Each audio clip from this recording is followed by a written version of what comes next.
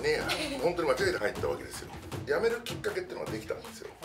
今も結局決まってない状態なるほどね。ねどうもしゅんですこんにちは。春大ありメンバーのことこです。はいということでですね今回は泥酔キャリア企画ということでお酒好きのキャリアに精通した大人の方を呼んでキャリアに悩んでる人の悩みを解決しようという企画になっております。で今回はですね、えー、送りバンド社の会長の高山さんにお越しいただきました。高山さんよろしくお願いします。よろしくお願いします送りバントっていうあの広告とか PR の会社をやってます。特にそのキャリアに明るくはないんですけど頑張ります。ありがとうございます。先月から働いてることこちゃんの就活相談およびキャリア相談をしていただきたいなと思ってるんですけどもより本音の話を聞き出せるようにっていう形でちょっと今回お酒とおつまみを用意したので飲みながらちょっと相談させていただけたらなと思ってます。はい。とりあえず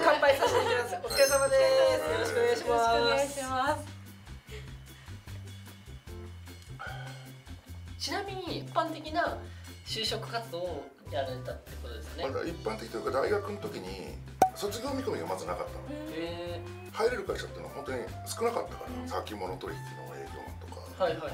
ワンルームマンションを販売するっていうのとかしかなかったんですよ、まあそれで毎日その飲み屋で働いてたからはい。で毎日飲みたいしそのまんまその飲み屋に就働いちゃうか俺東京出身なんだけど群馬の大学行ってて。へでその群馬県太田市っって富士重工と山陽電機があるの。要は労働者とか工業の町で飲み屋街も発展してるんですよ。で、まあ、就職できなくてその時の当時の彼女、まあ、今の妻なんだけどのお父さんが養豚場を経営したの。はい。でどうしようかなと思ってたまたまそれで卒業見込みなくてもいいよって会社っていうのがそういう不動産屋でそれでたまたま受かったの。えからのキャリアスタート。ー、えー、それは不動産営業っていう形で割と飛び込み系だったんですか一日中テレアポするんですよ。よくあんじゃん電話上にぐるぐる。ぐるぐる巻きそうそう兄貴。えブラック企業みたいなのに本当に間違えて入ったわけですよ。ー、えどういう感じのブラック企業？例えばまず休みって日曜日だけなんですよ。はいはいはいはい。土曜日売れてなかったりしたら土曜日の夜とかに上司来て「明日どうする?」みたいな「あすいません」とかで「明日は休み」とか言ったら怒られたりするわけ。ええー、みたいな。そういうのがずっと続くわけじゃん。もう本当地獄ですよ売れなか。ったら、えうんまあ俺まあまあ売れてたから自由だったんだけどでも売れない時もいくらでもあるし、うん。まあまあもう本当に大変な世界。その代わし給料売れてればめちゃめちゃいい。えー。あそういうフルコミッション型的な。は いまあフルコミまでいかないけど倍率も高くて。はいはい本当に新卒で「ああ今月100万円だ」みたいなのが3ヶ月したりとかするの、すごいですね。おーどうしようよし松車買おうみたいな。売れればいいけど売れなかったら地獄。でも売れてても地獄だから。俺本当に就職したその日に辞めたかったのへあやっべえとこ入っちゃったみたいな。よくあるじゃんこれ棒棒グラフとかあってさ。ーはいはいはい。個人の名前あって棒グラフはいはいはいはい。ってドラマとか映画とかで、はい。あこれだみたいな。へあこれかノルマみたいな。おわみたいな。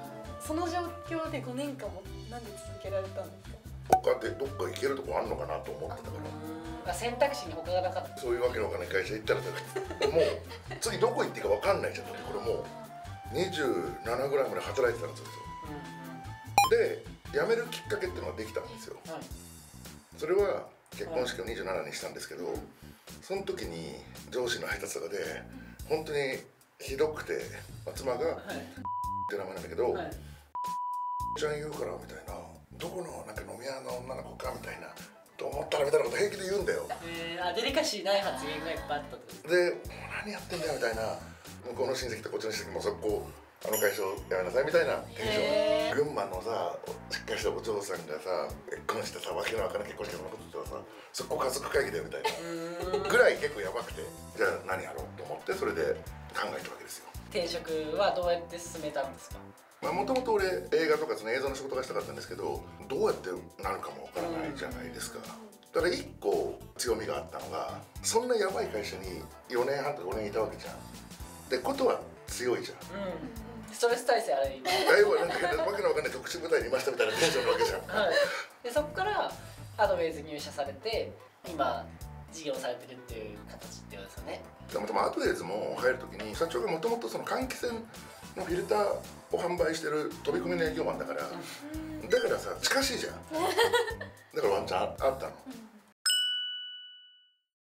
ででちょうど今この子ちゃんのはい。なんですけど気がついたら就活終わってたっていう。感じで大学卒業したんですよね、ただでも就活した方がいいかなと思って就活始めたタイミングでよかったら働かないって言って今ダイヤで働きながら一応就活も続けてるっていう感じなんですよね。学生時代に就活しなきゃって思ったタイミングがなぜかなかったんですけど、やっぱり卒業してから、うん。この後どうしていこうかなっていうところで初めてやっぱり就活した方がいいのかなっていうのを思ったのが、卒業した後の5月ぐらいだったんですけど、うん。うんそこからど。どうしたいのかわからないみたいな。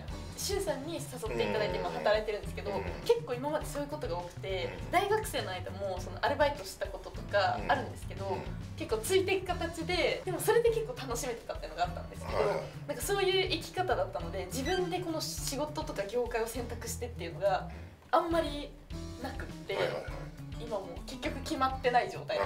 すね。だからなんかすごくそれに対して焦ってるかって聞かれると、ものすごい焦ってるではないんですけど、ちょい焦りぐらい。ちょい焦りですね。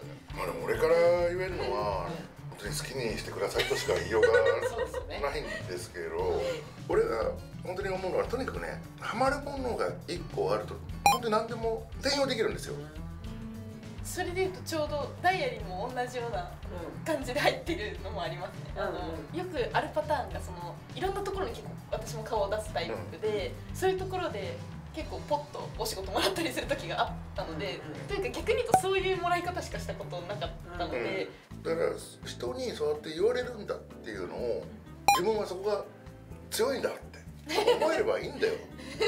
自信を持ってさ。だってないじゃんそんなこと。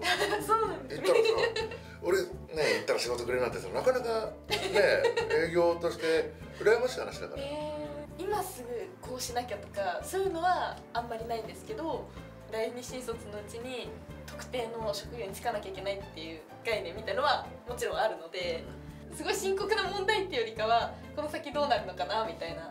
でもさどんどん変わってるもんね。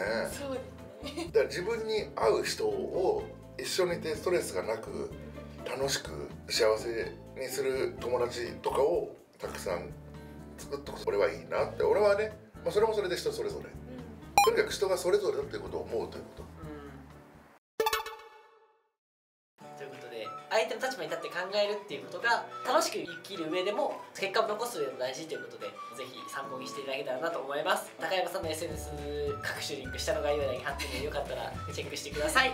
実際に実演という形で高山さんの営業を皆さんにも見ていただきたいなと思っているのでぜひ次の動画を見ていただけたらなと思います。ということで本日はありがとうございました。ありがとうございましたからお知らせです。期間限定で ES 添削サービスを無料で実施しています。ES は添削してもらったら通過率マジで上がるんでこの機会に活用してください。夏こそ頑張ろうと思ってる就活生に向けてダイアリーからの応援キャンペーンの方です。ありがたい。この夏限定なので概要欄のリンクからぜひチェックしてみて